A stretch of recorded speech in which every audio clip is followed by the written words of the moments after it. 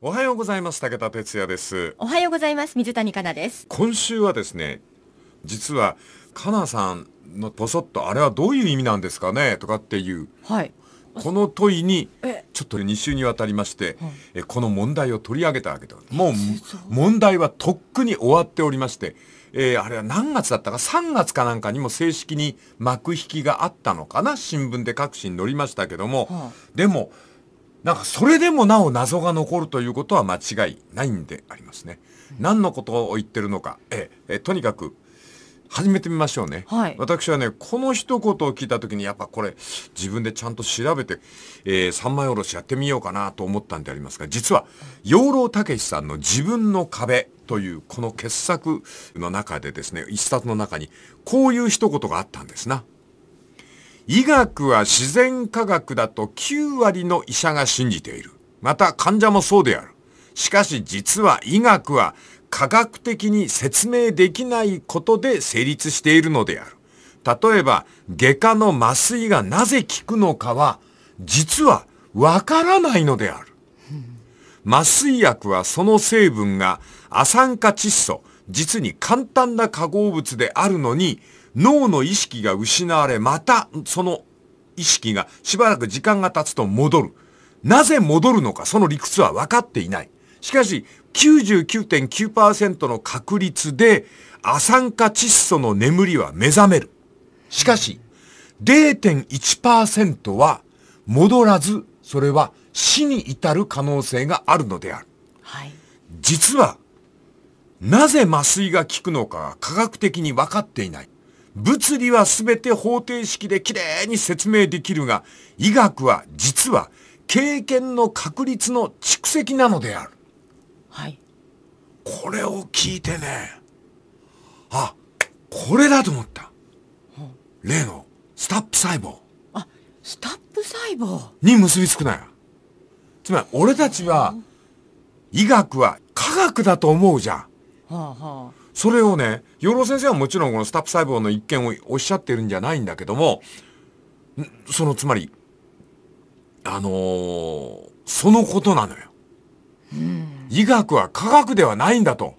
あはいわからないってことうんですね気境の根っこはなぜか咳に効くみたいな、そういうことなんだ。で、はいドキッとしたのは、俺もかけられたことあるけど、麻酔はなぜ効くのか実はわからないっていうの。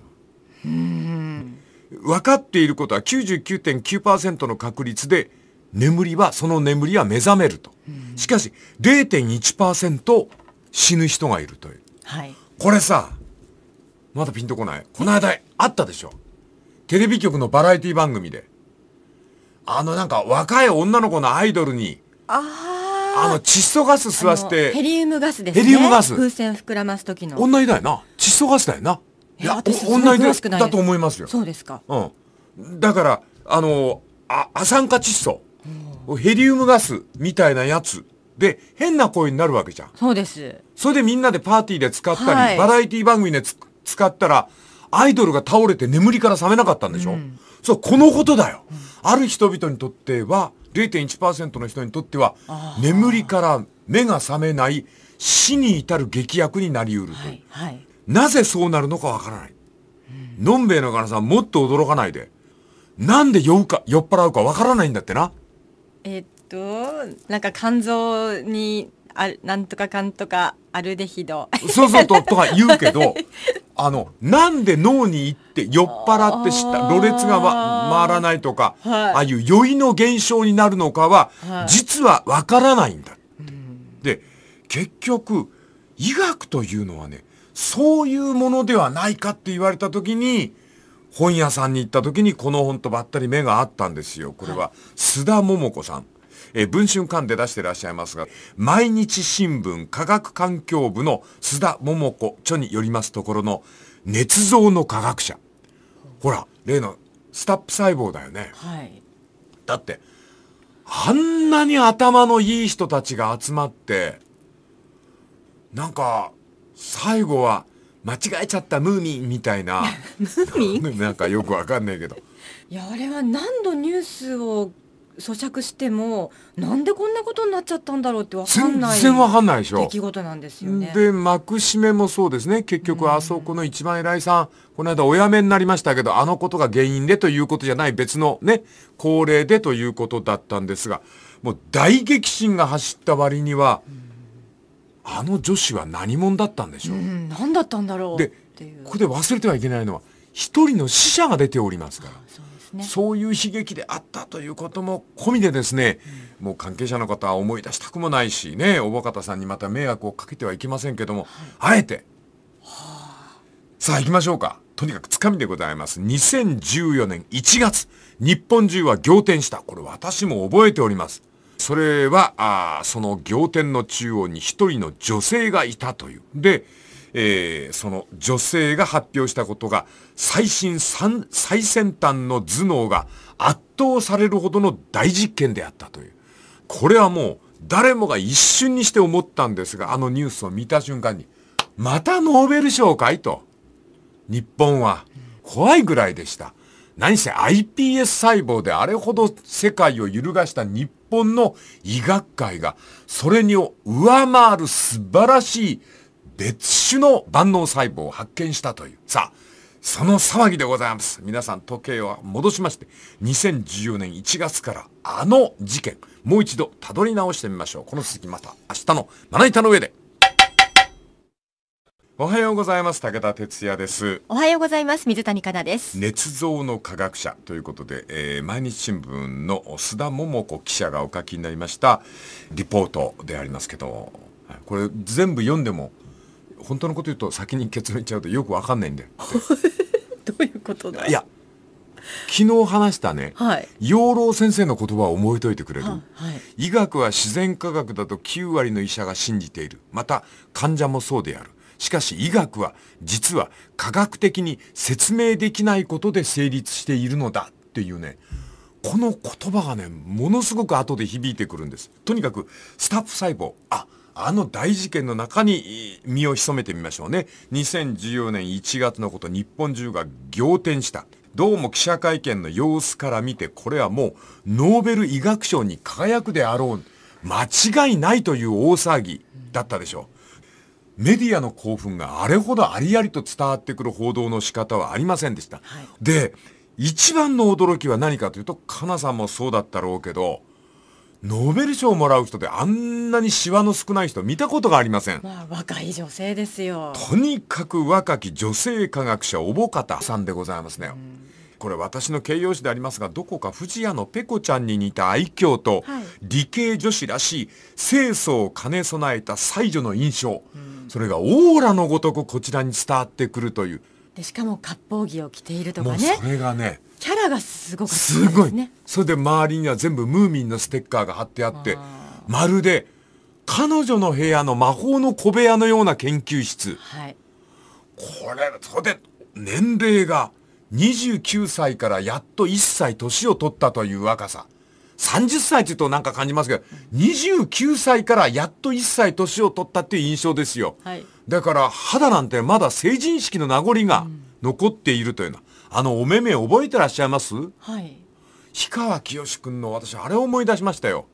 黒飴っていうのをね、あの、真っ黒い、いや、なんか舐めたら甘いんじゃないかっていうような、クリンクリンしたね。はい。あこれちょっと神かけて言いますが、この放送は神かけて言いますが、おぼかたさんがお聞きになっても決しておぼかたさんを非難したりしませんので、はい。どうぞおぼかたさんも明日から安心して聞いてください。私はその手の意味でこの事件を扱っとるんではありません。あの、スタップ細胞のあの事件の中には何か私どもの髪型とおぼかたさんの持ってらっしゃる世界の食い違いがあらわに出たという、そういう気が。故に、こんなに時間が経っても取り上げております。はい。はい今、スタップ細胞を語っている番組は、この番組だけだと思いますんで。ですねで我々がその次に驚いたのはおぼかたさんの脇にいらっしゃる2人の男性彼らが研究者としていかに優秀かはもうその雰囲気でこちら側に伝わってくるまずは眼鏡をかけた実に誠実そうなあ笹井良樹、えー理研 CDB 副センター長頭の良さそうな方でしたね、はい。学歴っていうのが顔に出るっていうのはこういうことでございますね。さらにその横にいらっしゃったのが額の広い方でございますね。忍耐力でこうなったのだというような風貌でございます。はい、その眼差しの深さ、ただもんではございません。この方が和歌山照彦山梨大教授であります。日本の再生医療、その最先端がここに並んでいるという。こんなにも頭のいいオーラのある、そんな方たちが、なぜあんなバカな、捏造という茶番の舞台の幕が開くわけでございます。あえて茶番と言わせていただきましたけども、スタップ細胞事件。一体あれは何だったんだろうなぜだったのだろうそういう謎に、この須田さんというですね、毎日新聞の科学環境部の記者が挑戦するわけでありますな。これ結構ドキドキしますよ。はい、やっぱりね、関係者みんないい人。繰り返します。関係者みんないい人です。読んでおりまして、不快に思う人は一人も出てきません。もうね、事件の核心にいる人たちは燃えたぎらんばかりの人類の使命を背負って医学に邁進なさっている。で、2014年ある日1枚のファックスを手にする須田記者。1月の28日火曜日のこと、神戸市の利権、えー、発生再生科学総合研究センター、名号ございますね。通称 CDB にて、重大なる研究成果の発表ありとの連絡が。で、須田記者はすごく気になりまして、すぐに顔見知りの人に電話を入れた。それがなんと驚く中で CDB 副センター長、笹井良樹さん、あの方なんです、メガネの。はい、で、メールで内容を聞くと、笹井さん、これいい方なんですね。一記者の須田さんに向かって、絶対に君は来るべきだよっていうお誘いを受けたという。で、その日、ポートアイランドの会場へ行くと、須田記者は、ここで初めて主役を目撃する。その主役こそが、我が研究者、小保方春子、え研究ユニットリーダー。なんと29歳から1年年が取ったという、驚嘆すべき若さの主役であります。そして左右の脇役もすごい。この脇役の二人って本当にすごいんだって、かなさん。日本のトップオブリーダーのサイエンティストなんですって。で、そのサイエンティストに挟まれて、丸襟白いブラウス、黒のカーディガン、清楚な印象のおぼかたさん。ここで驚くべき発表がスタップ細胞だったというね。はい。とにかくこの続き、明日のまな板の上でございます。武田鉄矢、今朝の三枚おろし。おはようございます。武田哲也です。おはようございます。水谷香奈です。えー、いよいよここからスタップ細胞が何がすごいかというところに入るんでありますが、これがまた分かるような分からないような難しい話になるんだ。はい、その本では説明されてるわけですよね。もうね、たっぷり説明してあるんだけども、ちょっと申し訳ない。時間がない中で私も2度3度読み返したんだけど、あるところから急に分からなくなっちゃうんだよな。はあ、でも、とにかく分かるところまで私の下手くそな説明を辛抱して聞いてください、かなさん。はい。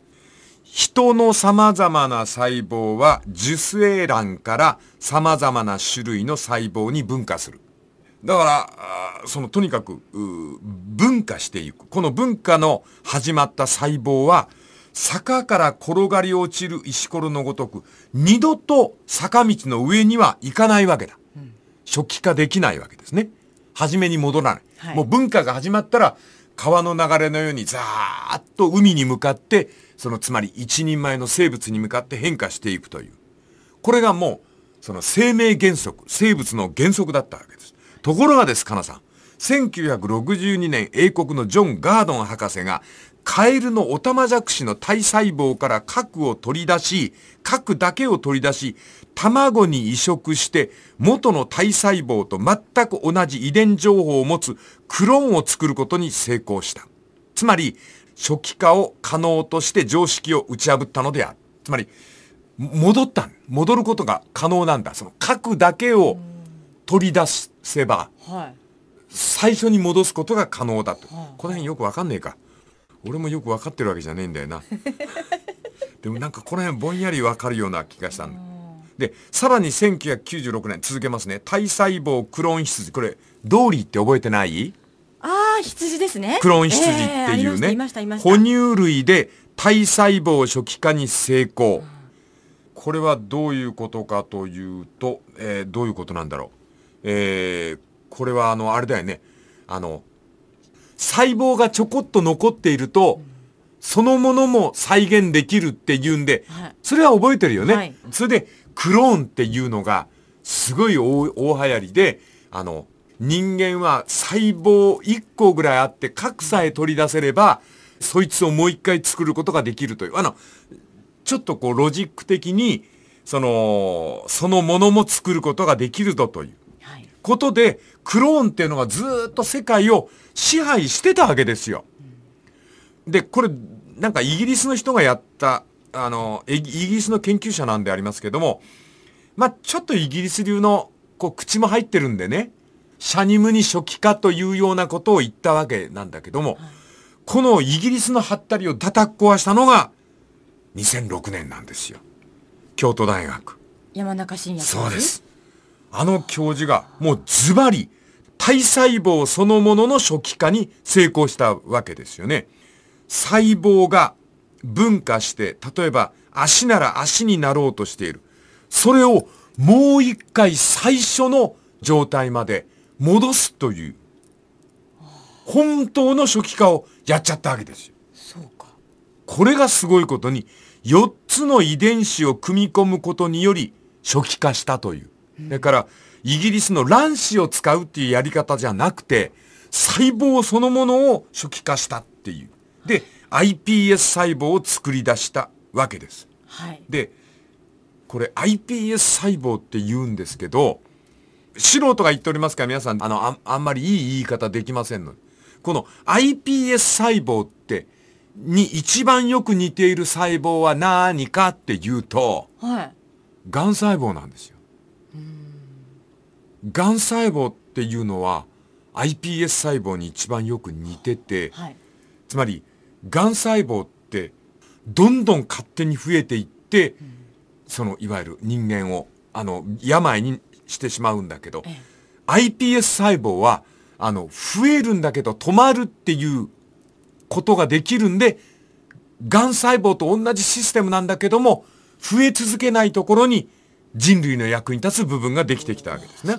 で2007年には人 iPS 細胞の開発へということが始まってもう医学界が根底から揺れた。今までは切るばっかりだったでしょう、はい、それがあのあの京都大学の山中教授の出現で切るんじゃなくてその人の細胞から取り出したそこの部分を人造的に作ってはめ込むっていう、目の角膜が病気な人にはその人の細胞を初期化して角膜をつけら作らせてそこに埋め込むっていう画期的な医学の一歩が始まったわけだ。これすごいよね。2012年、えー、ノーベル医学生理学賞受賞ということですけど、はい、この iPS 細胞に対抗できる細胞の作り方が発見されたという。びっくりするでしょ、これ。で、私 iPS 細胞のこともあまり分からずにいたので、うんうん、あ、そういうことだったのか。間違ってたらすぐお詫び入れますから、そのつもりで聞いてください。4つ遺伝子を入れ替える、組み込む。それでそういうことが起こったわけです。うん、ここでも大事なことは、なんで4つ入れたら初期化したかっていうのは、はい、多分わからないと思いますよ。つまり、ここです。多分ここだと思うんですよ。はい、この続きまた明日のまな板の上で。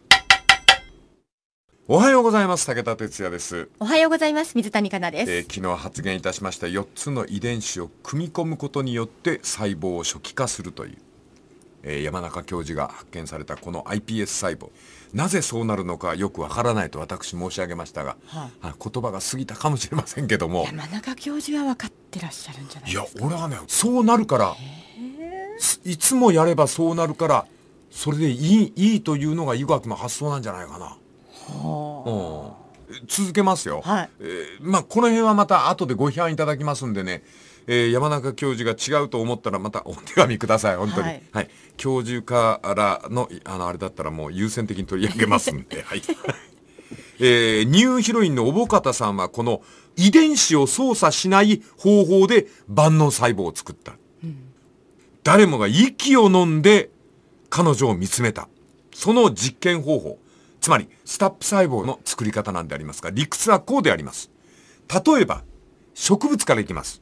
人参とか大根、何でもいいや。そういうのをとにかくバラバラに細かく包丁でチョップみじん切りする。うん、それで、ある溶液につけると、そこから根や茎、葉に何でも変化するカルスという細胞に変化するという。はい、で、これは一種植物の細胞の万能化ではないか。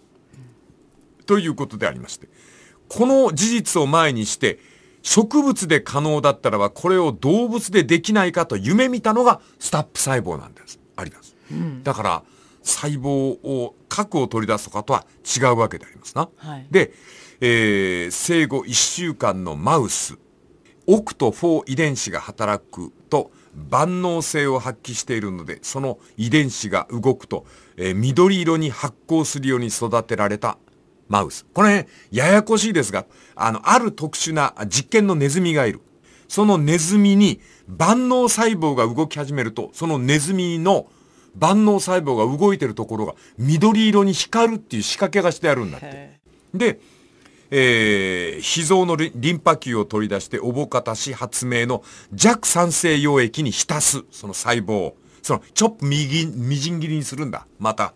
だからやっぱどっかね、割烹着が似てて、細かく切るわけだ。タンタンタンタンタンと。お料理みたいな、ね、ああ、3枚じゃないんだよ。もうほんとみじんにね、うん、サクサク切ってって。で、それを弱酸性の溶液に浸す。はい、それを培養すると驚くなかれ数十から数千まで増殖する。で、移植するとそのネズミのその場所が全身ボーっと緑色に光るキメラマウスが誕生したっていう。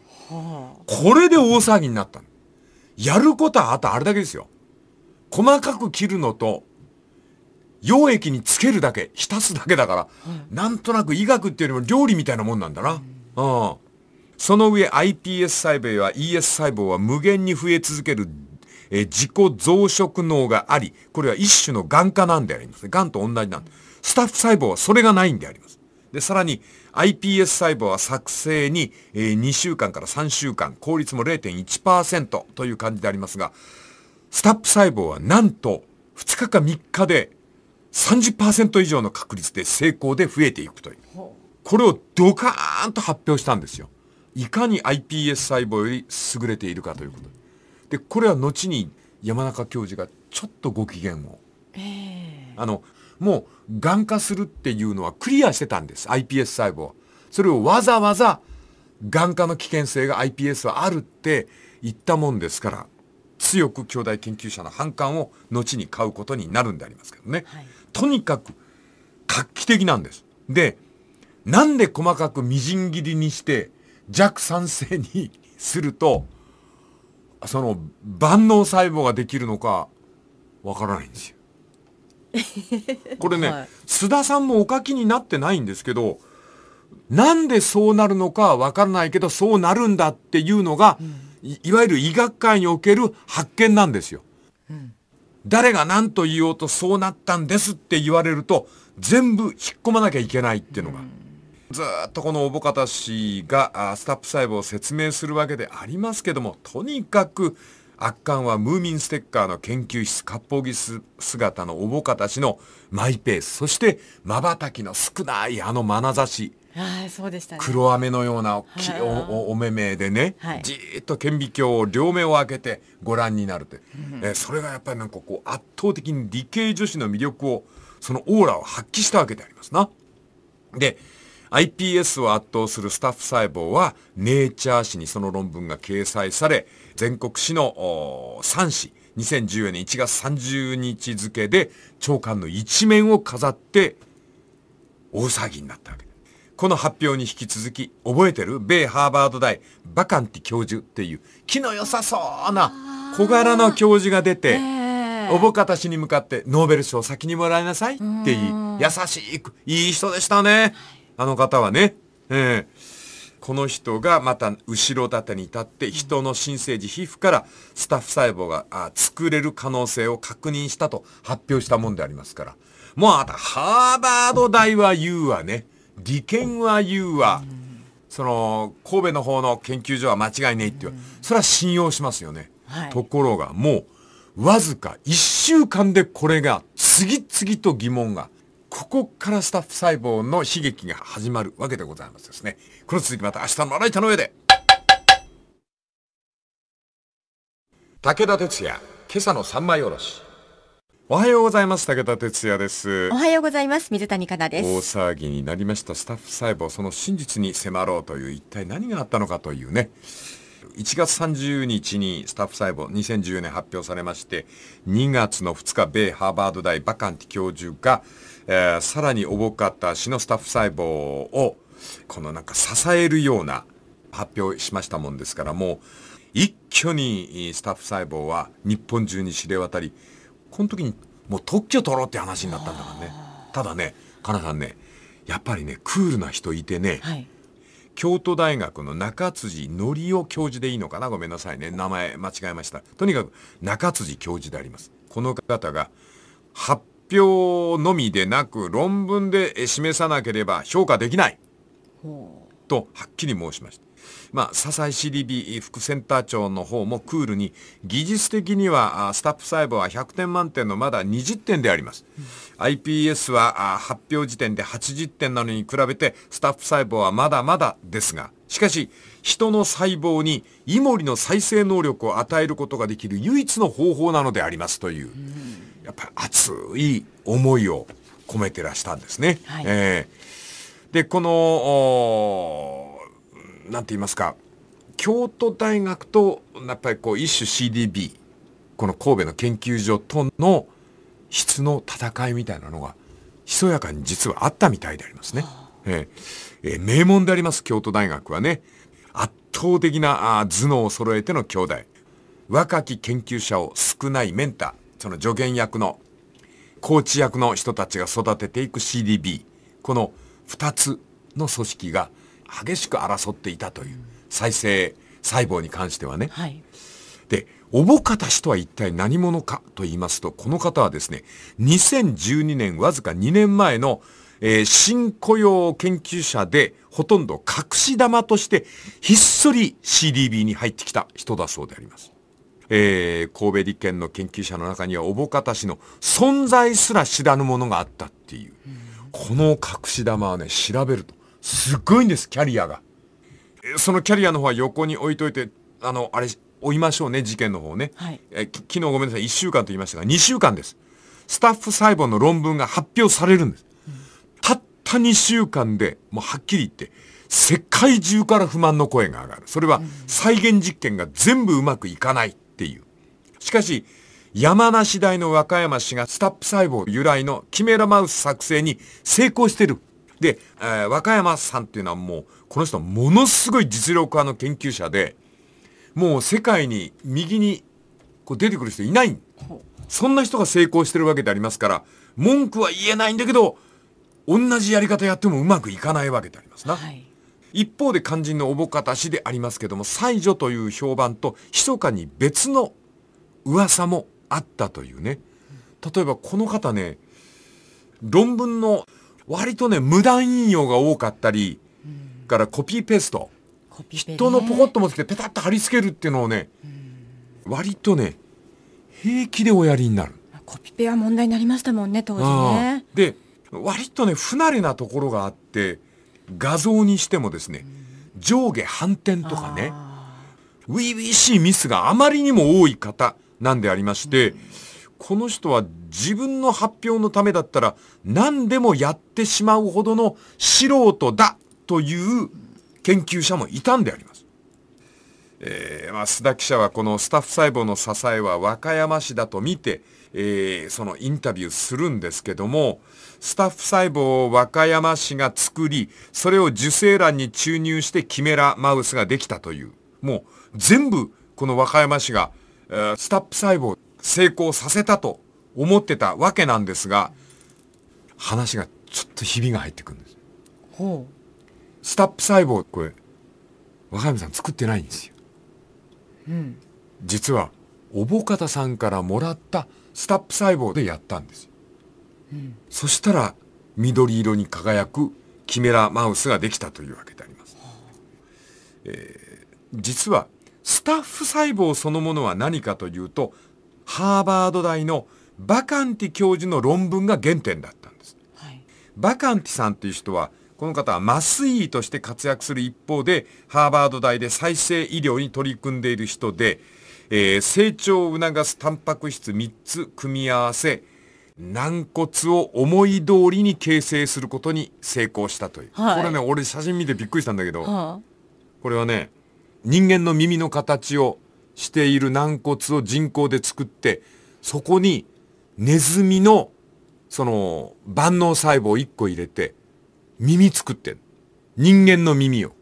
あ。は人間の耳がねネズミの背中にくっついてんの。その写真を見たことはびっくりするよ。それでねすっごい衝撃を与えた人なの。でそのネズミのことを BBC 放放送がバカンティマウスって言ってもうその再生医療のそのマークみたいになったんだよそのネズミがね。うん。その再生医療で新しいその万能細胞を作るっていうのはこのバカンティ C の見果てぬ夢だったんですけども、えー、おぼかたさんっていうのは実は2008年の夏早稲田の大学院から東京女子医大に通いつつ再生医療を学ぶ人だったんですね。この、えー総大大学院から東京女子医大に通いつつ再生医療を進もうとしたおぼかた氏とバカンティ氏が一緒に研究をし始めてその研究目標が生まれたわけであります。この続きがまた来週のまな板の上で。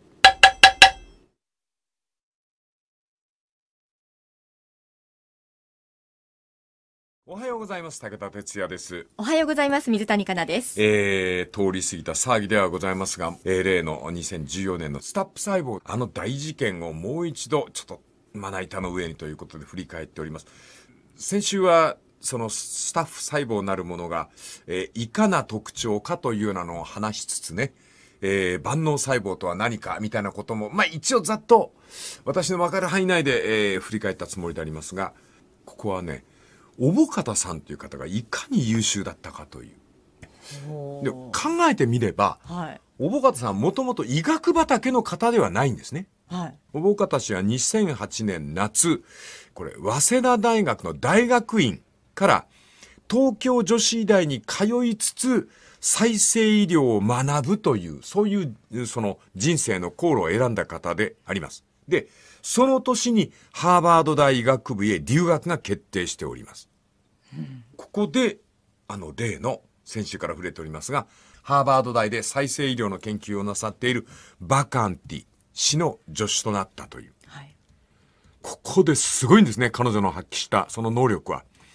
1週間で200本以上の論文を読み、ミーティングで発表するという、そういう勉強ぶりでありまして、もう、ハーバード大医学部で、もうみんなすげえインテリジェンスだっつんで大評判を取ったという。はい。で、当然でありますけども、東洋的なあの神秘的なオーラもあって、美貌の人でもございます。で、バカンティ氏の助教授、ああ助手さんっていうのは、美人が結構いたらしいんですな。はええそのおぼかたさんも含めて、えーそのバカンティ氏の、おその助手さんたちのことは、ハーバードでは、チャーリーズ、チャーリーズ？チャーリーズエンジェルをもじって、ドクターバカンティーズエンジェルと呼ばれてたっていう。おだからやっぱり白衣の裾を翻してね、颯爽と、ほとんど眠らなくても、パチッと開いたお目目で、もうその圧倒的理系女子の才能と魅力を発揮してたんでしょうね。ハーバード大のやっぱり名物だったという。で、ここででありますけども、マウスの細胞がおぼかたしの、この実験で、高い頻度で初期化するという大手柄を立ててるんです。ハーバード大で。これがね、あの、あれなんですね。あの、先週お話したに、えっと、植物を細かく切っていって、それを弱酸性の溶液につれると初期化して、そこから目にも歯にも鼻にもなるって言ったじゃないですか。はい。それと同じように、その、細かくマウスの細胞をちょっとみじん切りにしといて、今度ジャック賛成ではなくて、バカンティ氏のおアイディアで、ガラスの管を通すんですって。そしたらね、初期化するっていう偶然が結構高い頻度で起きるっていう。この時におぼかた氏がやったのは、そのガラスの管をめちゃくちゃ細くしたんですって。そのめちゃくちゃ細いガラス管を通すことによって、そのマウスの細かく砕いた細胞を通すと、圧倒的高い頻度で初期化したんですって。これではもう、ハーバード大で大騒ぎになりまして、細いガラス管を通すと初期化を起こすのではないかっていう巨大な予感が注目されたという。はい。でも、ちょっと冷たい言い方ですが、皆さんこれですよ。私今医学の話してるんですが、ほとんど料理と同じですよね。細かく切って管を通すと初期化したっていう。だ金さん先週も話したけど、なぜ細い管にしたら初期化したのかっていうのは、ここでは追求されないんですよ。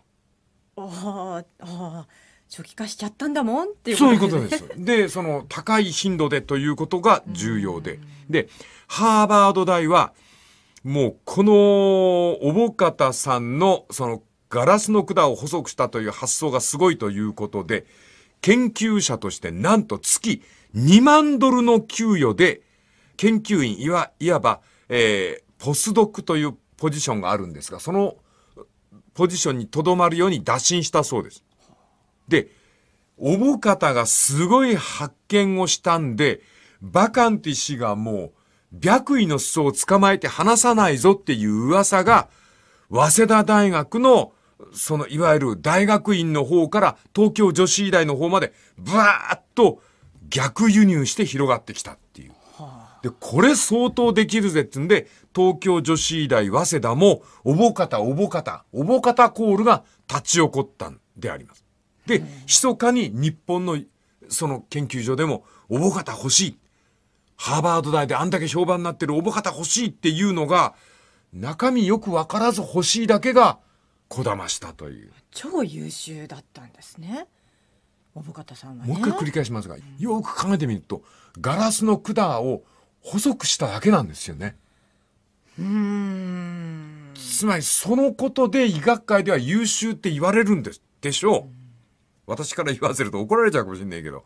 はい。だけどやっぱそうとしか思えないんだよね。で、2011年の4月、ハーバード大に席を置きながら、和歌山市と共同でキメラマウス実験を行うために、神戸 CDB にやってくる。で、この時もう招聘されてるんです、神戸から。はい。で、日米の往復滞在費は、すべて、これすごいですね、バカンティ氏より提供されたんですって。つまり、話したくないから、往復の旅費とかホテル代全部ハーバード大が払ったんですって。こんなだったんだ。だからこそなおさら神戸が彼女を求めたという。評判が評判を呼んだんですね。はい。えー続きますよ、これ。すごい話。おはようございます。武田哲也です。おはようございます。水谷香奈です。おぼかたさんの名声の広がり方は分かったでしょ？はい。困ったことに、これ俺絶対そうだと思うんだけど、これをね、オープンにしなかったのよ。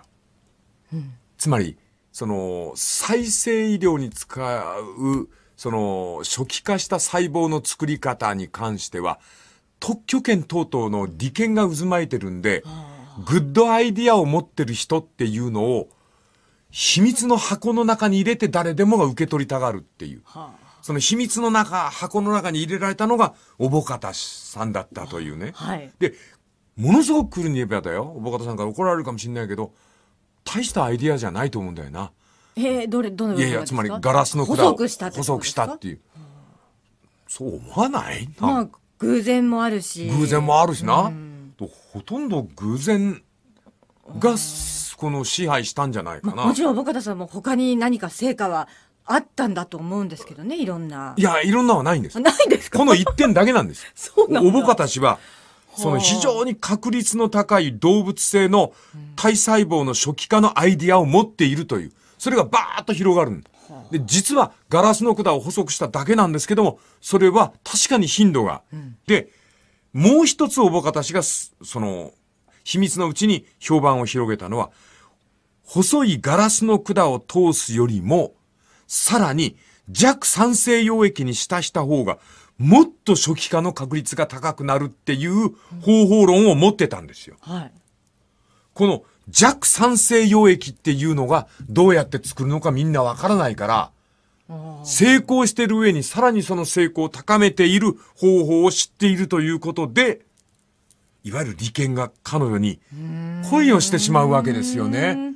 は利権が彼女に恋をしたと言った方がいいんじゃないかな。で、もう一人恋をしたのが、あの、あ、ああの方です。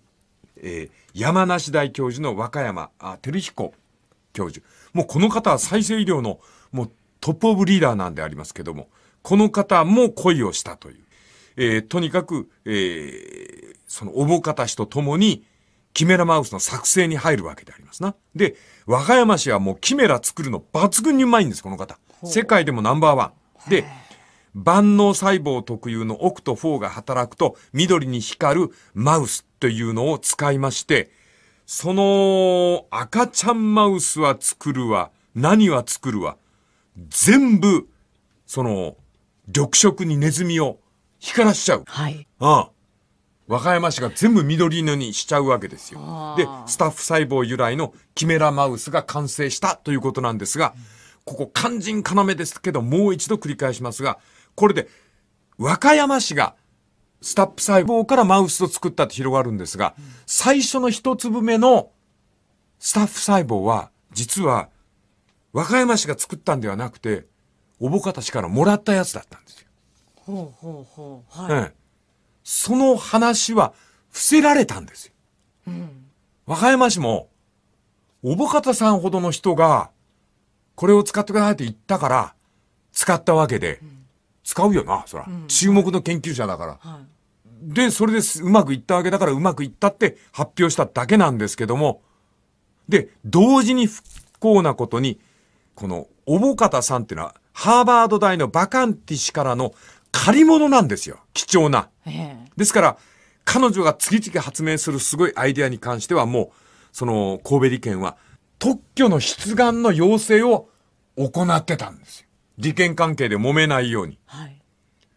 つまり、宝物はないんですけど、見つかった時の分け方はみんなで決めとこうみたいなこと、いうことが、その広まっていって、その特許の奮戦に、笹井氏というあの、お亡くなりになった方も一生懸命努力してたという。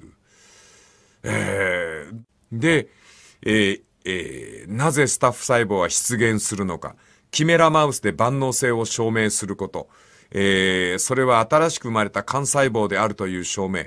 スタッフ細胞はただの偶然ではないという証明。次々こう、あの問題は出てくるんですが、えー笹井氏がやっぱりこう、横にいるんで、みんなが信用してしまったという。そのことでどんどんどんどん、この巨大な発見だというふうに話が進行していった。そして、無名のまま、まだ大学院生ですよ、この人は。はい。それで、ノーベル賞候補までということで、こう広がっていったという。まあ大体これで話は尽きちゃうんですけどね。あじゃあそのん周りのこうバックアップしてた人もすごかったってことですよね？つまりね、盗まれちゃいけないっていうんで、みんな外ばっかり研究してて、はおぼかた氏の、その、研究内容をよくみんな見てなかった。い。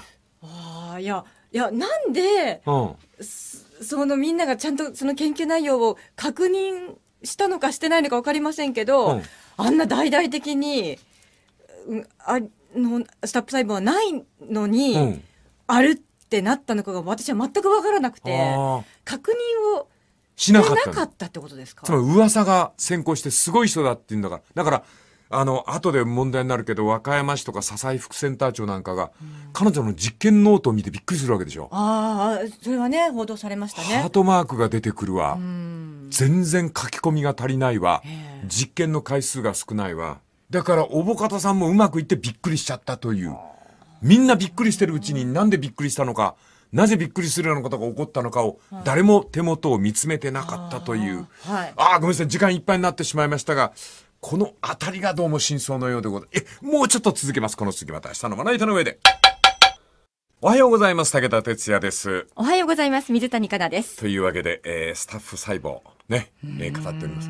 えーちょっと語ってる間に、えーガラスの向こうの、えーディレクターからも質問がありまして、なんでそうなるのか私には理解できないんです。なんでそうなるのみたないなんでそうなるの？感じですよね、はい。頑張って続けますよ。和歌山市がなぜキメラマウスを成功できたのかっていう。あーはいあれは、おぼかた市からもらったスタッフ細胞だったんですが、スタッフ細胞ではなかったんではないかっていう。同じ現象が起きるっていう細胞があるんですよ。は ES 細胞っつって。ああ ES 細胞、うんはいそれが一個混じると、同じ結果になるんですよ。はだから、スタップ細胞はどこにもないんです。ES 細胞という細胞が起こした現象が、スタッフ細胞が起こしたって、そういう騒ぎだったっていう。いそうなんか実は ES 細胞だったみたいな報道もありましたよねあそういうことです。ちょっといあの報道のされ方わから忘れましたけれども同じ、同じ結果になるんですよ。みんなネズミが緑色に光っちゃうんですよ。ES 細胞でも。それをスタッフ細胞でできたからすごいって言ったんだけど、ES 細胞でも簡単に同じ結果になるんですよ。ことは誰も別に捏造しようと思ったわけではなかった。わけじゃない。結果的にこうなってしまう。ただ何かの原因で ES 細胞がおぼかたさんのシャーレーの中に迷い込んだ。でそれをおぼかたさんがわざと意図的にやったっていうことを証明するのは絶対にできないんですよ。はい。だからおぼかたさんもうまくいってびっくりしちゃったという。みんなびっくりしてるうちになんでびっくりしたのか誰もという。はい、本にはその事実が順を追って書かれてるわけですね。書かれてます。ただね、申し訳ないね、これ、あの、須田さん、あの、本当に、あの、一生懸命お書きになった毎日新聞の、あの、女性記者の方。もう、読んでて疲れる。もう、結局ね、なんでそうなるのばっかりなんですよ。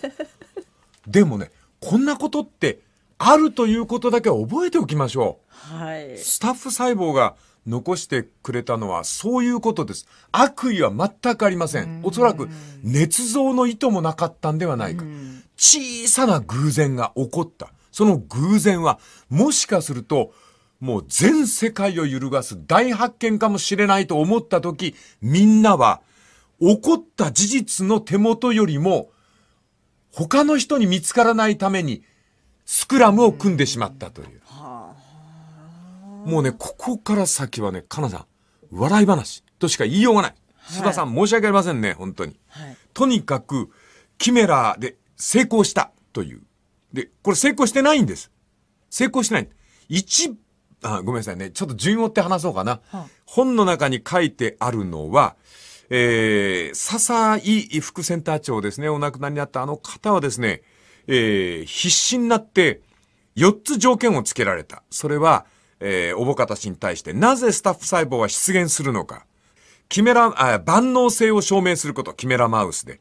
えー新しく生まれたあ幹細胞であるという。幹細胞っていうのは、応用が効く細胞になり得るかどうかっていうことね。まだこの辺も分かりにくいか。それから、スタッフ細胞はただの偶然ではない。それを証明せよっていうのを、その、絶えず求め続けたんでありますが、和歌山市がキメラマウスに成功したっていうことが、笹井センター長が、副センター長が、これはいけたってもう全部信じちゃったの。で、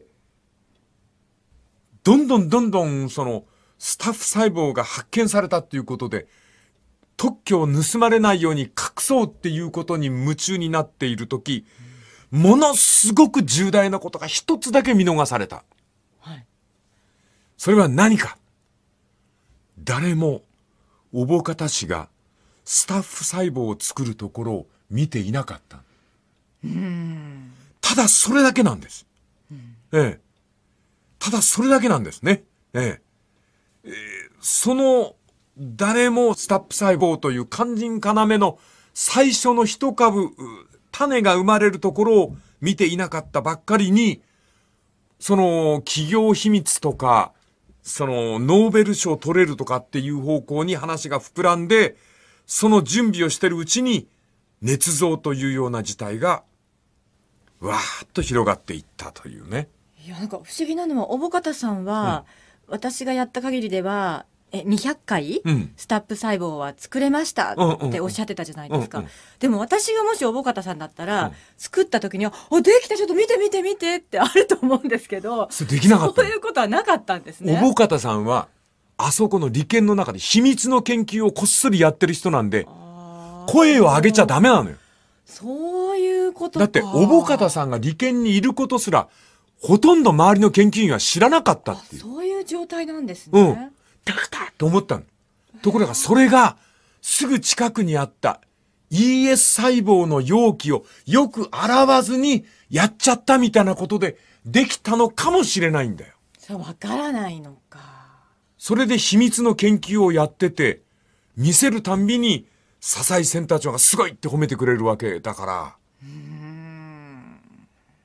んで、例の若山さんも、あの、山梨の方の大学教授になられたばっかりだったんで、研究室の不備等々もあって、そのできる実験とできない実験があったらしくて、マウスの方はすぐできたらしいんだけど、はい。スタッフ細胞を作るっていう実験は、その転任したばっかりだったんでうまくできなかったというような、もっとバカみたいな話あるよ。問題はネイチャーだよな。なんで載せたんだよ、お前。それも不思議なんですよなんで載せたんだよ、ネイチャー。え？えーというわけでございまして、明日も聞いてください。おはようございます。武田哲也です。おはようございます水谷香奈ですというわけで、捏造の科学ということで、えー毎日新聞の記者、女性記者であります須田桃子さん、えー文春館で、えー出してらっしゃいますけども、えー大体納得していただけました。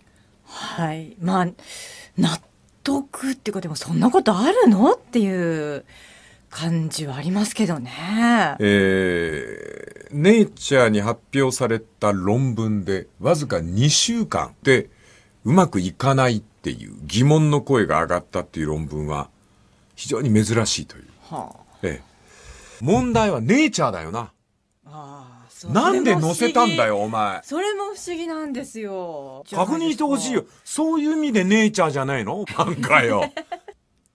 そらあんた追試なんかしませんよって。はい共同研究者誰なの？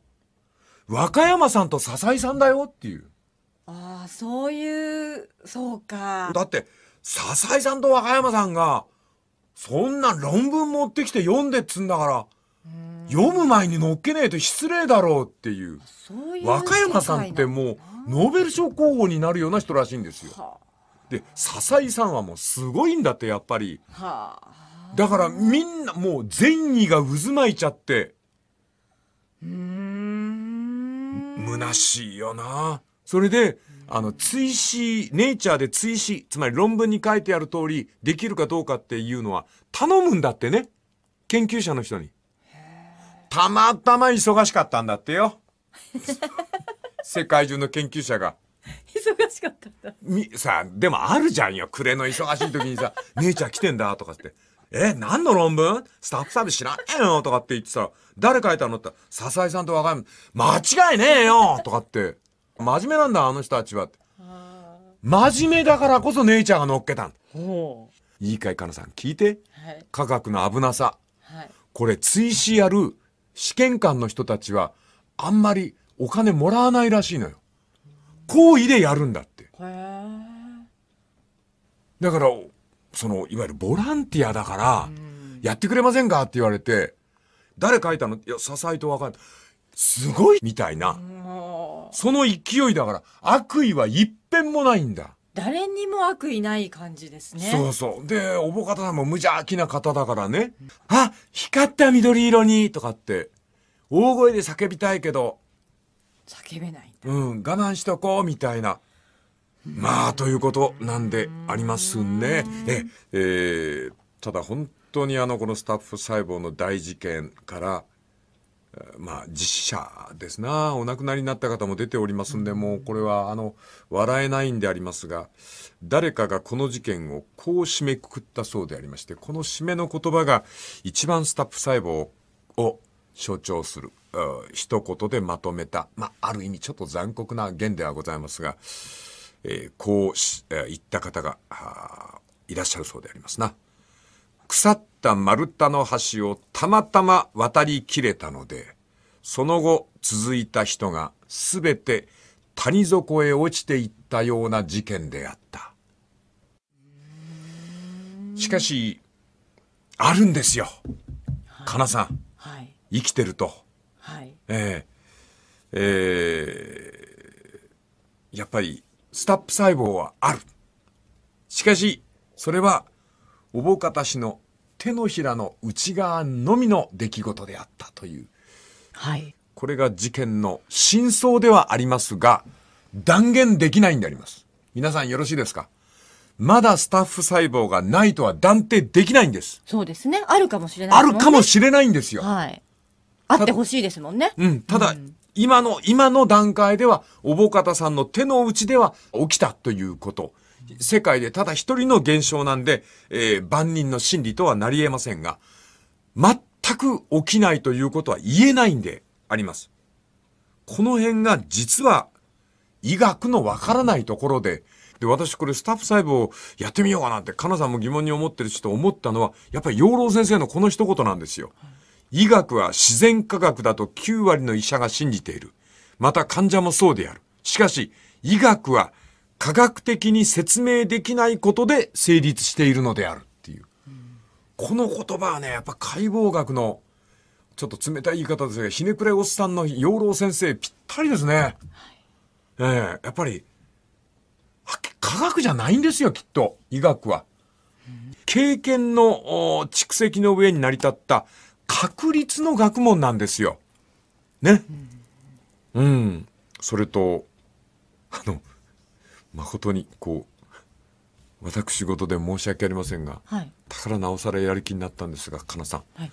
私は2011年、はい。えー、私は10月、はい。ちょっと手術で入院しておりまして、心臓ですね。あなたにもご迷惑かいけました。やいや全然、ねあの、あの私が入院してた病院のはい。すぐ近くに、はい。ちょうどおぼかたさんもはい。通われてたんです。ああそうですよねだそういうのを考えると、俺が散歩してうろうろするときに、この女性とすれ違ったのかもしれないなと思いましてね。はいええー最初に申し上げました通り、決しておぼかたさんをからかうつもりも何もないという。ただ、私たちも含めて、おぼかたさんもそうですが、やっぱり養老先生の医学は自然科学ではないんだっていう。だから、全部説明できないんだっていう。うん。そんなことを考えますと、この事件、なんか納得がいくような気がするんですな。はいでは、この続きまた明日のまな板の上で。おはようございます。武田哲也です。おはようございます水谷香奈ですえー例の2014年のスタップ細胞、あの大事件をまな板の上にということで振り返っております。あなた、黒澤明の赤ひげって見なかった？ああ見てる見てると思いますはい赤ひげが、あの、江戸時代のお医者さんですよ。あはいあれがオランダ医学を治めた加山雄三っていう若き医師に向かって説教するくだりがあるのね。医者は患者を助けるという。だから、医者というものは、ただの一度も患者を助けたことはない。患者が助かったのは、患者自らが生き延びようと思った時のみだっていう。つまり、お医者さんの手の内に命があると思ったら大間違いで、語りかけ合い、呼び合いなんですよね。はいねえこれ偉いでしょ、これ。お切り抜き、新聞の切り抜きをびっしりはい、ノートに貼もう皆さん方になんかね、良い話題はないものかと。はいはい。そう思いながら、あ新聞をお広げておりまして、申し訳ありません。うちはちょっと読み売りなんですけども、はいえーえー編集手帳という、なかなか文章の上手い人がおりましてね、その人のなんかいい文章があったら時々切り抜いて、はいいつか3枚おろして使おうと思ってええやってるんでございますね。はい。編集手帳、これはあ2015年の3月5日の編集手帳ですな。医者は往診から帰るといつも薬を調合する商売道具のさじを神棚に、えー備えて拝む。何故に拝みなさる？尋ねた女房に医者曰く、これがなきゃわしゃ下手人じゃ。薬の調合を間違えてとかね、その資料が足りずに思わずという、やっぱ大変な仕事ですよね。ええ私も心臓手術をしたという思い出がありますがなんて言いますか執刀医と患者の関係ってのは微妙ですなかなさんね。うん、なんか所詮人間関係ですな、はい私はね、はい名前言いたいぐらいでありますがご迷惑かけるといけないんで言いませんがあの3月あ5月か5月そのお医者さんに会いに行った執刀医紹介されてもう顔見ただけでこの人でいいやと思いましたね。うん。顔つきですなお医者さんってのは。うん静かなもうあえていあいろいろ申しませんけどね静かな顔をした先生でしてね。はい。ああ、説明するんですよね。それに、言葉にね、一つも尖ったところがないんですよ。はいで、えー何か説明なさるときは全部数字でおっしゃいましてね。その数字で言われるってのもあんま好きじゃないんですけども、あなたの心臓の弁の動いてないパーセンテージがね、ここまで来ておりますんで、えーやっぱり手術をお勧めしますというその顔つきですね。その先生の実に誠実な何を感動したかというとその人が説明をやめようとしないんですよね。これはもう手術前日のあの例の説明に関してもそうでした。あの死ぬ危険に関してずーっと説明するんですね。でこれいろんなケースが上がってて途中であのあれですね停電になった場合とかもねあそういうのもあるんですか？はあ、そういうのも説明なんですよ。で、はいもう先生聞いてもわかんないからいいやって言ったんですよ。うん。そしたら先生が、そういうやつ聞いてくださいとかね。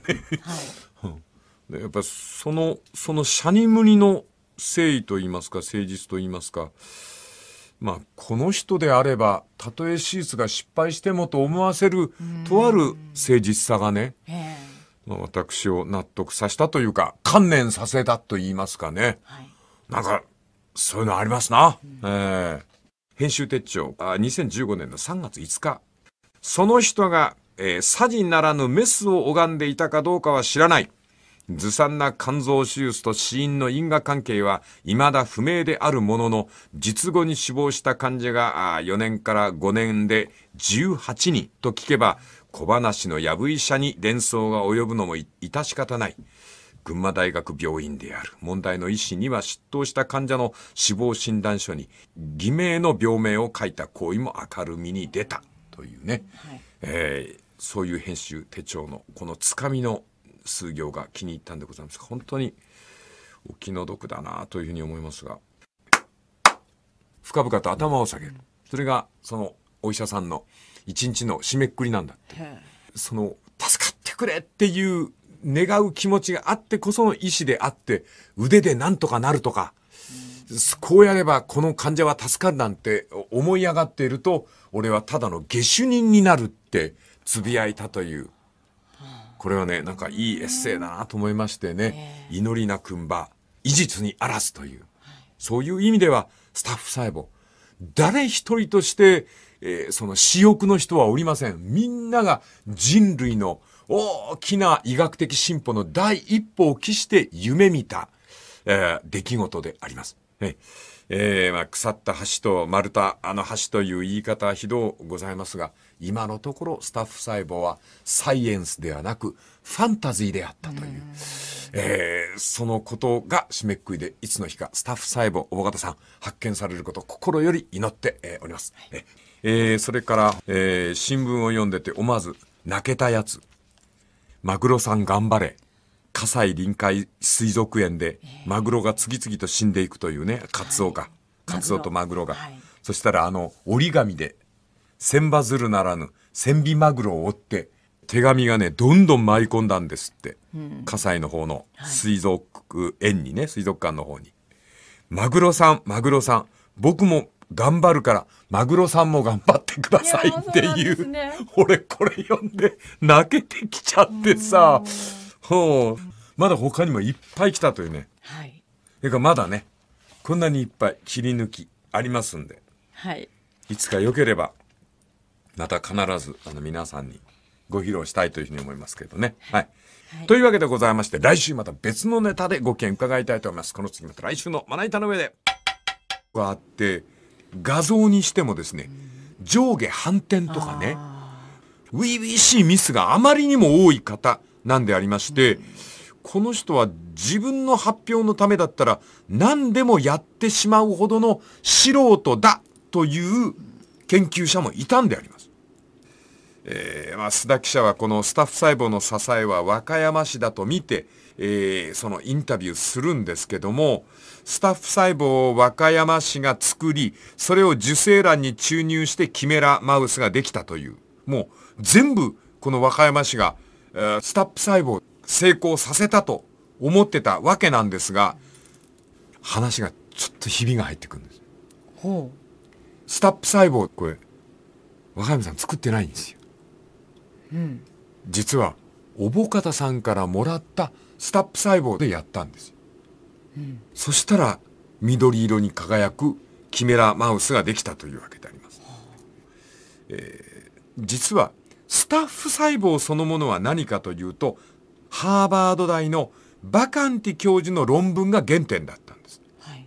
バカンティさんという人は、この方は麻酔医として活躍する一方で、ハーバード大で再生医療に取り組んでいる人で、えー成長を促すタンパク質3つ組み合わせ、軟骨を思い通りに形成することに成功したという。はいこれね、俺写真見てびっくりしたんだけど、はこれはね、人間の耳の形をしている軟骨を人工で作って、そこにネズミのその万能細胞を1個入れて、耳作ってん人間の耳を。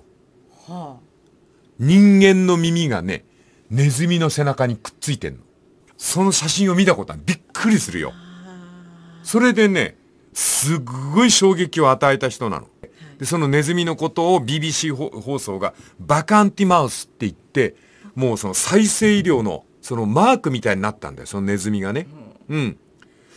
その再生医療で新しいその万能細胞を作るっていうのはこのバカンティ C の見果てぬ夢だったんですけども、えー、おぼかたさんっていうのは実は2008年の夏早稲田の大学院から東京女子医大に通いつつ再生医療を学ぶ人だったんですね。この、えー総大大学院から東京女子医大に通いつつ再生医療を進もうとしたおぼかた氏とバカンティ氏が一緒に研究をし始めて、その研究目標が生まれたわけであります。この続きがまた来週のまな板の上で。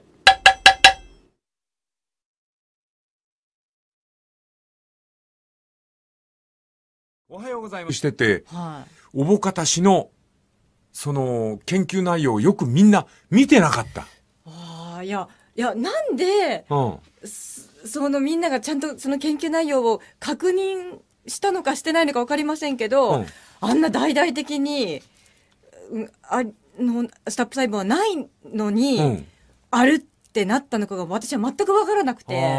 確認をしなかったってことですか？つまり噂が先行してすごい人だって言うんだから。だから、あの、後で問題になるけど、若山氏とか笹井副センター長なんかが、彼女の実験ノートを見てびっくりするわけでしょ。ああ、それはね、報道されましたね。ハートマークが出てくるわ。うん。全然書き込みが足りないわええ。実験の回数が少ないわ。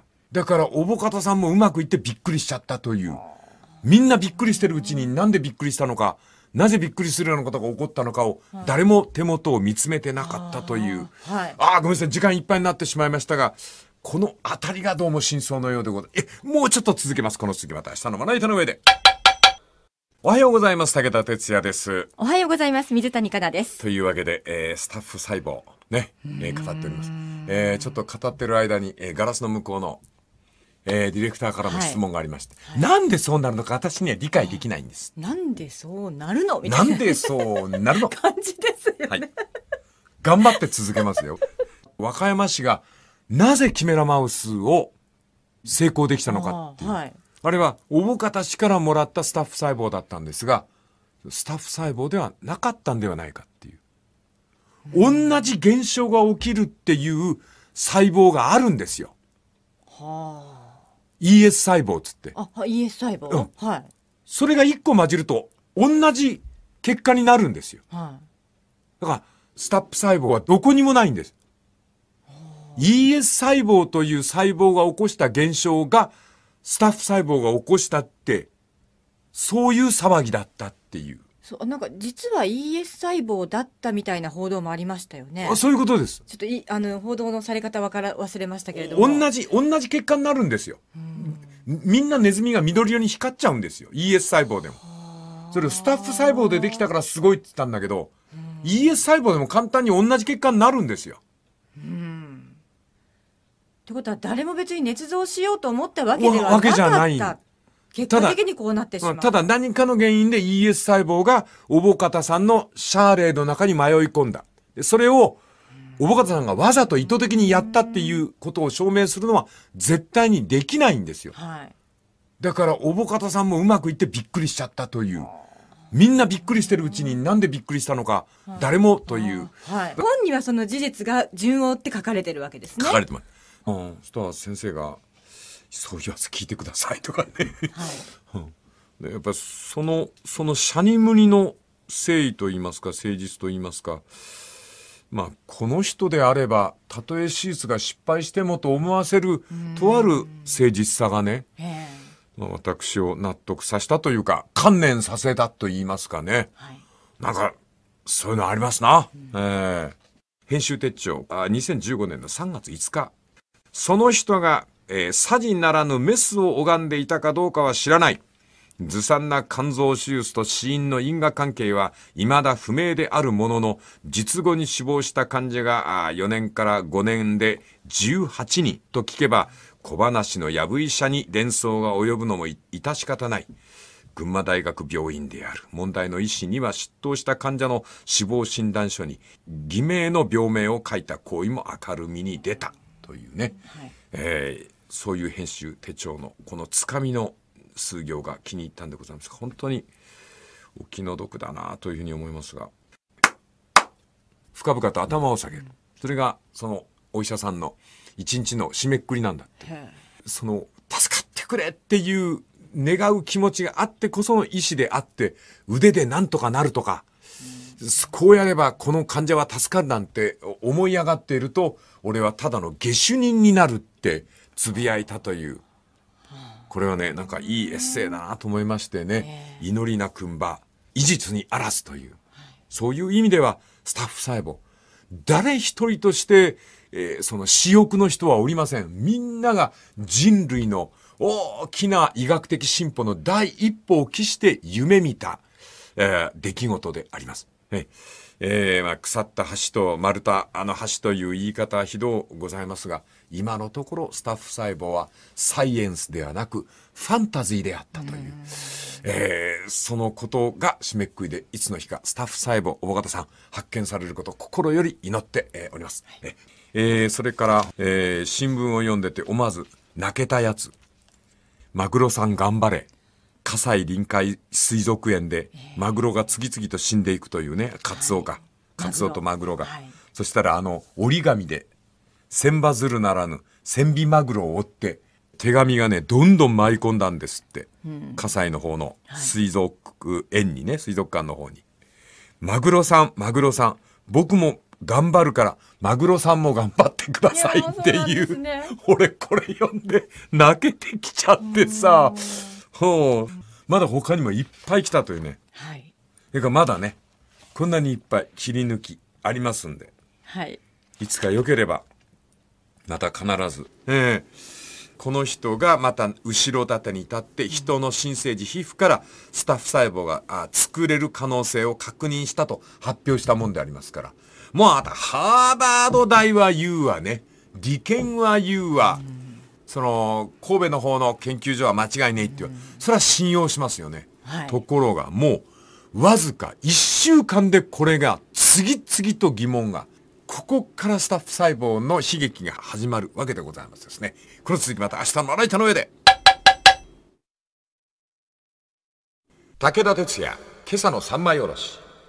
おはようございます。武田鉄矢ですお。はようございます。水谷香奈で大す。騒ぎになりましたスタッフ細胞その真実に迫ろうという一体何があったのかというね1月30日にスタッフ細胞2014年発表されまして2月の2日米ハーバード大バカンティ教授が、えーさらにおぼかった死のスタッフ細胞をこのなんか支えるような発表しましたもんですからもう一挙にスタッフ細胞は日本中に知れ渡りこの時にもう特許取ろうって話になったんだからね。ただねかなさんねやっぱりねクールな人いてね、はい。京都大学の中辻則夫教授でいいのかな？ごめんなさいね。名前間違えました。とにかく中辻教授であります。この方が発表のみでなく論文で示さなければ評価できない。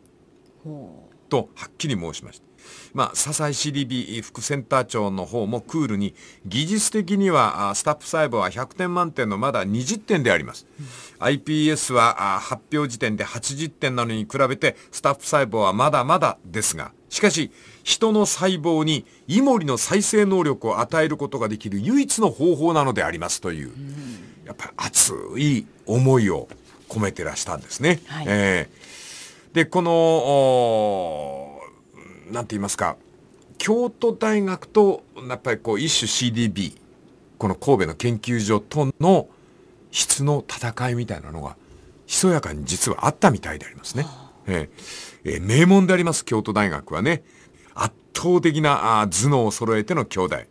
若き研究者を少ないメンターその助言役のコーチ役の人たちが育てていく CDB この2つの組織が激しく争っていたという再生細胞に関してはね。はい。で、おぼかた氏とは一体何者かと言いますと、この方はですね、2012年わずか2年前の、えー新雇用研究者でほとんど隠し玉としてひっそり CDB に入ってきた人だそうであります。えー神戸立憲の研究者の中にはおぼかた氏の存在すら知らぬものがあったっていう。この隠し玉はね、調べると、すっごいね、他の人に見つからないために、スクラムを組んでしまったという。もうね、ここから先はね、かなさん、笑い話としか言いようがない。須田さん、申し訳ありませんね、本当に。はい。とにかく、キメラで成功したという。で、これ成功してないんです。成功してない。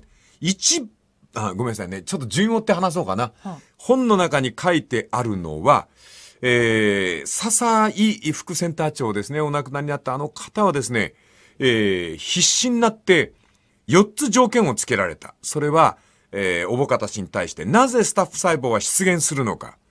キメラ、あ万能性を証明すること、キメラマウスで。えー新しく生まれたあ幹細胞であるという。幹細胞っていうのは、応用が効く細胞になり得るかどうかっていうことね。まだこの辺も分かりにくいか。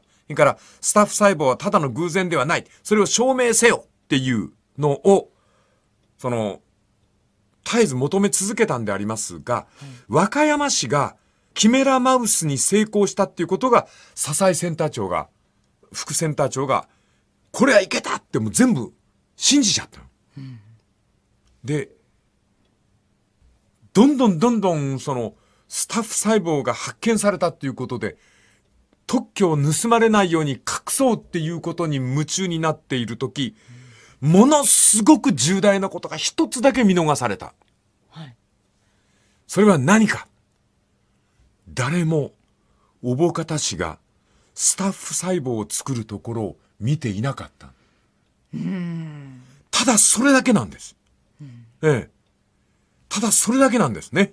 えええーその、誰もスタッフ細胞という肝心要の最初の一株、う種が生まれるところを見ていなかったばっかりに、その企業秘密とか、そのノーベル賞取れるとかっていう方向に話が膨らんで、その準備をしてるうちに、捏造というような事態が、わーっと広がっていったというね。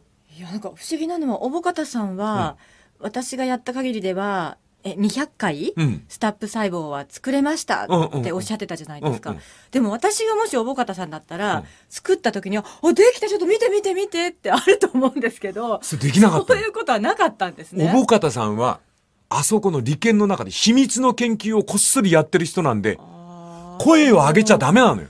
そういうことだって、おぼかたさんが利権にいることすら、ほとんど周りの研究員は知らなかったっていう。そういう状態なんですうんね。。だったと思ったの。ところが、それが、すぐ近くにあった ES 細胞の容器をよく洗わずにやっちゃったみたいなことで、でき、もう特許取ろうって話になったんだからね。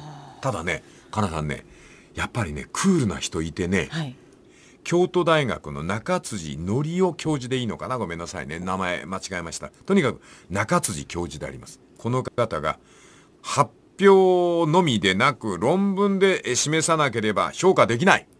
ほとはっきり申しました。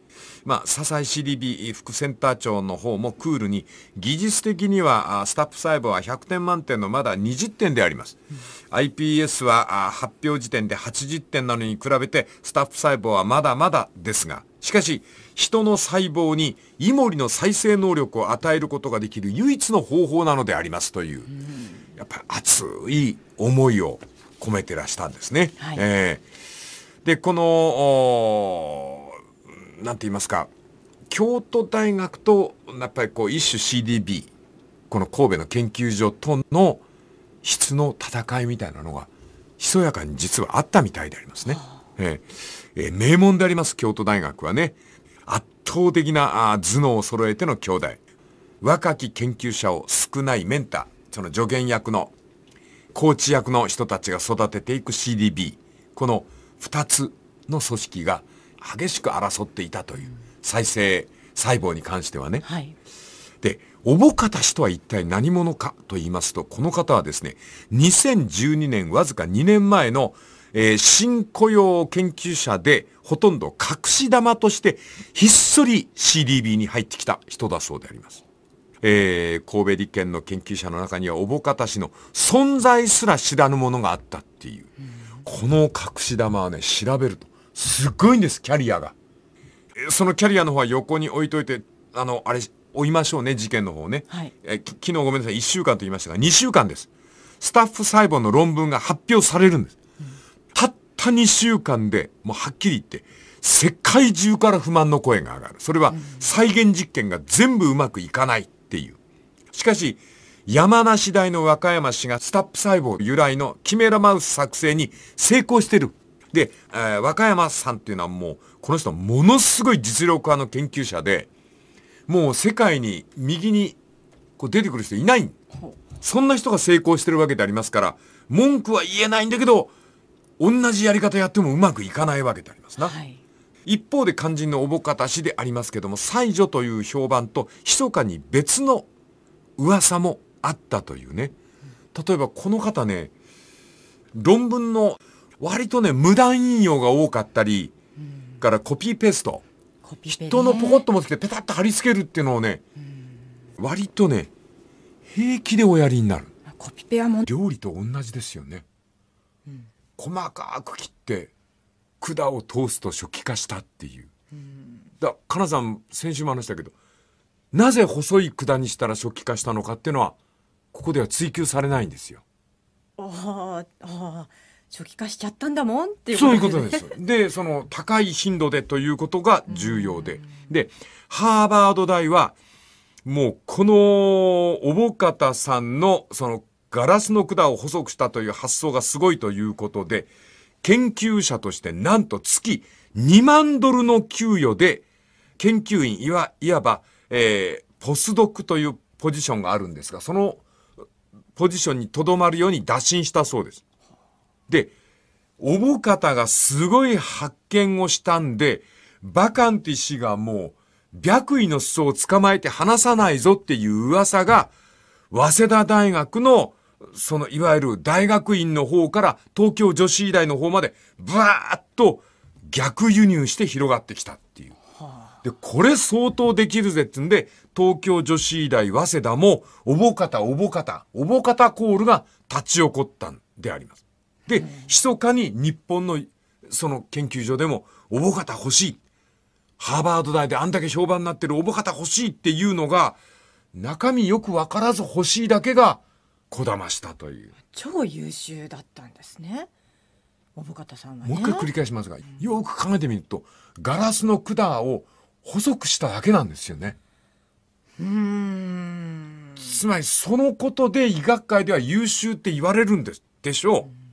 私から言わせると怒られちゃうかもしれないけど。はいだけどやっぱそうとしか思えないんだよね。で、2011年の4月、ハーバード大に席を置きながら、和歌山市と共同でキメラマウス実験を行うために、神戸 CDB にやってくる。で、この時もう招聘されてるんです、神戸から。はい、で、日米の往復滞在費は、すべて、これすごいですね。バカンティより提供されたんですって。つまり、話したくないから、往復の旅費とかホテル代全部ハーバード代が払ったんですって。そんなだったんだ。だからこそ、なおさら、神戸が彼女を求めたという。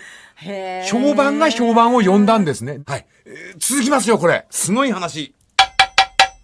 おはようございます。武田哲也です。おはようございます。水谷香奈です。おぼかたさんの名声の広がり方は分かったでしょ？はい。困ったことに、これ俺絶対そうだと思うんだけど、これをね、オープンにしなかったのよ。うん、つまり、その、再生医療に使う、その、初期化した細胞の作り方に関しては、特許権等々の利権が渦巻いてるんで、グッド社長の方もクールに技術的にはスタップ細胞は100点満点のまだ20点であります、うん、iPS は発表時点で80点なのに比べてスタップ細胞はまだまだですがしかし人の細胞にイモリの再生能力を与えることができる唯一の方法なのでありますという、うん、やっぱり熱い思いを込めてらしたんですね。はい、えー、でこの何て言いますか京都大学とやっぱりこう一種 CDB この神戸の研究所との質の戦いみたいなのがひそやかに実はあったみたいでありますね。えー、えー、名門であります京都大学はね。圧倒的なあ頭脳を揃えての兄弟。若き研究者を少ないメンターその助言役のコーチ役の人たちが育てていく CDB この2つの組織が激しく争っていたという。再生細胞に関してはね。はい、で、おぼかた氏とは一体何者かと言いますと、この方はですね、2012年わずか2年前の、えー、新雇用研究者でほとんど隠し玉としてひっそり CDB に入ってきた人だそうであります。えー、神戸立憲の研究者の中にはおぼかた氏の存在すら知らぬものがあったっていう。この隠し玉はね、調べると、すっごいんです、キャリアが。そのキャリアの方は横に置いといて、あの、あれ、追いましょうね、事件の方ね。はい、え昨日ごめんなさい、1週間と言いましたが、2週間です。スタッフ細胞の論文が発表されるんです。うん、たった2週間で、もうはっきり言って、世界中から不満の声が上がる。それは再現実験が全部うまくいかないっていう。しかし、山梨大の和歌山市がスタップ細胞由来のキメラマウス作成に成功してる。で、えー、和歌山さんっていうのはもう、この人はものすごい実力派の研究者で、もう世界に右にこう出てくる人いない。そんな人が成功してるわけでありますから、文句は言えないんだけど、同じやり方やってもうまくいかないわけでありますな。はい、一方で肝心のおぼかたしでありますけども、才女という評判と、密かに別の噂もあったというね。例えばこの方ね、論文の割とね、無断引用が多かったり、からコピーペースト。人のポコッと持ってきてペタッと貼り付けるっていうのをね、割とね、平気でおやりになる。コピペは問題になりましたもんね、当時ね。で、割とね、不慣れなところがあって、画像にしてもですね、上下反転とかね、初々しいミスがあまりにも多い方なんでありまして、この人は自分の発表のためだったら何でもやってしまうほどの素人だという研究者もいたんであります。えー、まあ、誰かがこの事件をこう締めくくったそうでありまして、この締めの言葉が一番スタップ細胞を象徴する、一言でまとめた、まあ、ある意味ちょっと残酷な言ではございますが、えー、こう、えー、言った方がいらっしゃるそうでありますな。腐った丸太の橋をたまたま渡りきれたので、その後続いた人がすべて谷底へ落ちていったような事件であった。しかし、あるんですよ。かなさん。はい、生きてると。はい、えー、えー、やっぱりスタップ細胞はある。しかし、それは、おぼかたしの手のひらの内側のみの出来事であったという。はい。これが事件の真相ではありますが、断言できないんであります。皆さんよろしいですか？まだスタッフ細胞がないとは断定できないんです。そうですね。あるかもしれないね。るかもしれないんですよ。はい。あってほしいですもんね。うん、ただ、今の、今の段階では、おぼかたさんの手の内では起きたということ。世界でただ一人の現象なんで、えー万人の真理とはなり得ませんが、全く起きないということは言えないんであります。この辺が実は医学のわからないところで、で、私これスタッフ細胞をやってみようかなって、かなさんも疑問に思ってるしと思ったのは、やっぱり養老先生のこの一言なんですよ。医学は自然科学だと9割の医者が信じている。また患者もそうである。しかし、医学は科学的に説明できないことで成立しているのであるっていう。この言葉はね、やっぱ解剖学の、ちょっと冷たい言い方ですが、ひねくれおっさんの養老先生ぴったりですね。ええやっぱり、は科学じゃないんですよ、きっと、医学は。経験のお蓄積の上に成り立った確率の学問なんですよ。ね。うん。それと、あの、誠に、こう、私事で申し訳ありませんが、はい。だからなおさらやる気になったんですが、かなさん。はい。私は2011年、はい。えー、私は10月、はい。ちょっと手術で入院しておりまして、心臓ですね。あなたにもご迷惑かいけました。やいや全然ね。あの、あの私が入院してた病院のはい。すぐ近くに、はい。ちょうどおぼかたさんもはい。通われてたんです。ああ、そうですよね。だからそういうのを考えると、俺が散歩してうろうろするときに、この女性とすれ違ったのかもしれないなと思いましてね。はいええー最初に申し上げました通り、決しておぼかたさんをからかうつもり、番組で、あのなんか若い女の子のアイドルに、ああの窒素ガス吸わせあのヘて、リウムガスですね。ヘリウムガス風船膨らます時の。女だよな。窒素ガスだよな。いや私お女そんな詳しくないですだと思いますよ。そうですか。うん。だから、あの、あ、亜酸化窒素、ヘリウムガスみたいなやつで変な声になるわけじゃん。そうです。それでみんなでパーティーで使ったり、はいバラエティ番組でつ使ったら、アイドルが倒れて眠りから覚めなかったんでしょ、そう、このことだよ。ある人々にとっては、0.1%の人にとっては、眠りから目が覚めない死に至る劇薬になりうるという。はい。はい。なぜそうなるのかわからない。のんべえのかなさんもっと驚かないで。なんで酔うか、酔っ払うかわからないんだってな。えっと、なんか肝臓に、あなんとかかんとかアルデヒド。そうそうと、とか言うけど、あの、なんで脳に行って酔っ払ってした、あーろれつが、ま、回らないとか、はいああいう酔いの現象になるのかは、はい実はわからないんだ。で、結局、医学というのはね、そういうものではないかって言われたときに、本屋さんに行った時にこの本とばったり目があったんですよ。これは、須田桃子さん。えー文春館で出してらっしゃいますが、毎日新聞科学環境部の須田桃子著によりますところの、捏造の科学者。ほら、例のスタップ細胞だよね。はい。だって、あんなに頭のいい人たちが集まって、なんか、最後は、間違えちゃったムーミンみたいな、ムーミン？なんかよくわかんないけど。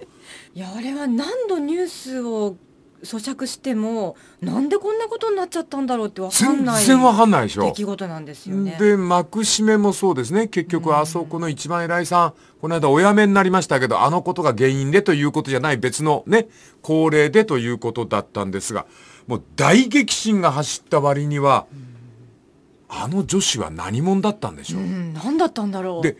ここで忘れてはいけないのは、一人の死者が出ておりますから。そうですね。そういう悲劇であったということも込みでですね、もう関係者の方は思い出したくもないしね、おばかたさんにまた迷惑をかけてはいけませんけども、あえて、さあ行きましょうか。とにかくつかみでございます。2014年1月、日本中は仰天した。これ私も覚えております。それは、あその仰天の中央に一人の女性がいたという。で、えーその女性が発表したことが最新最最先端の頭脳が圧倒されるほどの大実験であったという。これはもう誰もが一瞬にして思ったんですが、あのニュースを見た瞬間に、またノーベル賞かいと。日本は怖いぐらいでした。何せ IP と世界でただ一人の現象なんで、えー万人の真理とはなり得ませんが、全く起きないということは言えないんであります。この辺が実は医学のわからないところで、で、私これスタッフ細胞をやってみようかなって、かなさんも疑問に思ってるしと思ったのは、やっぱり養老先生のこの一言なんですよ。医学は自然科学だと9割の医者が信じている。また患者もそうである。しかし、医学は科学的に説明できないことで成立しているのであるっていう。この言葉はね、やっぱ解剖学の、ちょっと冷たい言い方ですが、ひねくれおっさんの養老先生ぴったりですね。ええやっぱり、は科学じゃないんですよ、きっと、医学は。経験のお蓄積の上に成り立った確率の学問なんですよ。ね。うん。それと、あの、誠に、こう、私事で申し訳ありませんが、はい。だからなおさらやる気になったんですが、かなさん。はい。私は2011年、はい。えー、私は10月、はい。ちょっと手術で入院しておりまして、心臓ですね。あなたにもご迷惑かいけました。やいや全然、ね。あの、あの私が入院してた病院のはい。すぐ近くに、はい。ちょうどおぼかたさんもはい。通われてたんです。ああそうですよねだからそういうのを考えると、俺が散歩してうろうろするときに、この女性とすれ違ったのかもしれないなと思いましてね。はいええー最初に申し上げました通り、決しておぼかたさんをからかうつもりも何もないという。ただ、私たちも含めて、おぼかたさんもそうですが、やっぱり養老先生の医学は自然科学ではないんだっていう。だから、全部説明できないんだっていう。うん。そんなことを考えますと、この事件、なんか納得がいくような気がするんですな。はいでは、この続きまた明日のまな板の上で。おはようございます。武田哲也です。おはようございます水谷香奈ですえー例の2014年のスタップ細胞、あの大事件をまな板の上にということで振り返っております。あなた、黒澤明の赤ひげって見なかった？ああ見てる見てると思います赤ひげが、あの、江戸時代のお医者さんですよ。あれがオランダ医学を治めた加山雄三っていう若き医師に向かって説教するくだりがあるんね。医者は患者を助けるという。だから、医者というものは、ただの一度も患者を助けたことはない。患者が助かったのは、患者自らが生き延びようと思った時のみだっていう。つまり、お医者さんの手の内に命があると思ったら大間違いで、語りかけ合い、呼び合いなんですよね。はいねえこれ偉いでしょ、これ。ア酸化窒素。実に簡単な化合物であるのに、脳の意識が失われ、またその意識がしばらく時間が経つと戻る。なぜ戻るのか、その理屈は分かっていない。しかし、99.9%の確率で、ア酸化窒素の眠りは目覚める。しかし、0.1%は戻らず、それは死に至る可能性があるのである。はい実は、なぜ麻酔が効くのかが科学的に分かっていない。物理は全て方程式できれいに説明できるが、医学は実は経験の確率の蓄積なのである。はいこれを聞いてね、あ、これだと思った。例のスタップ細胞あスタップ細胞？に結びつくなよ。つまり俺たちは医学は科学だと思うじゃん。はあはそれをね、養老先生はもちろんこのスタップ細胞の一見をおっしゃってるんじゃないんだけども、んそのつまり、あのーそのことなのよ。医学は科学ではないんだと。あはいわからないってことですね気境の根っこはなぜか咳に効くみたいな、そういうことなんだ。で、ドキッとしたのは、俺もかけられたことあるけど、麻酔はなぜ効くのか実はわからないっていうの。分かっていることは99.9%の確率で眠りは、その眠りは目覚めると。しかし0.1%死ぬ人がいるという。はいこれさ、まだピンとこないこの間あったでしょテレビ局のバラエティ番組で。